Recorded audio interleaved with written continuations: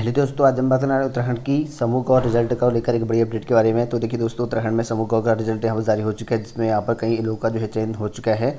इसके लिए मेरिट सूची और कितने कितने अभ्यर्थी जो चयन करे गए हैं, सारा कुछ आपको यहाँ पर देखने को मिलेगा। तो चलिए जानते हैं यहाँ पर आज की इस वीडियो में।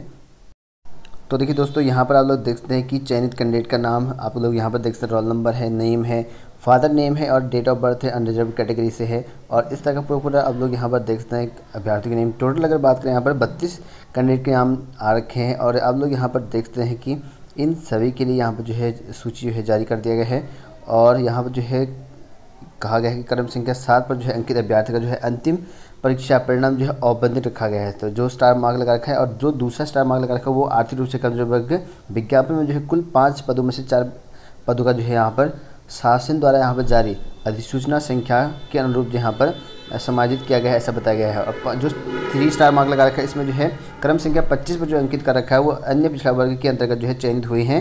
अभ्यर्थी द्वारा जो है ऑनलाइन आवेदन पत्र में जो है उप श्रेणी दिव्यांगज अंकित किया गया है। और दिव्यांगता के कारण जो है यहाँ पर पद आरक्षण नहीं है, परंतु अभ्यर्थी का जो चयन है श्रेष्ठता क्रम में यहाँ पर हुआ है, ऐसा यहाँ पर कहा गया है। तो ये जो है, इस तरह का लिखा गया है जो कि आप लोग देखते हैं कि मेडिकल कॉलेज में अंतर्गत जो आपकी समूह गाँव की पोस्ट आपको निकाल के आई थी अड़तीस पदों के लिए, उसका जो रिज़ल्ट है आप लोग यहाँ पर देखते हैं। इसकी जो मेल लिस्ट है श्रेष्ठता सूची है, वो आपको यहाँ पर देखने को मिल गई और कितनी कितनी कट होगी, इसकी ऑफ़िस साइड में जाकर आप चेक कर सकते हैं। वहाँ पर आपको पूरी डिटेल में इसकी वीडियो मिल जाएगी।